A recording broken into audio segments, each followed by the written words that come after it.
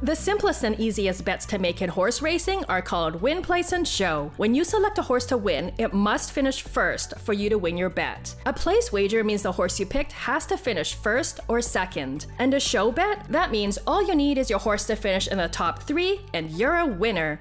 Now, a win bet will pay higher but has a greater risk, while the show wager returns a lower payout but offers a better chance of winning. If you can't make it to the track, you can watch and wager on your phone, anytime, anywhere. For more information, visit hpibet.com.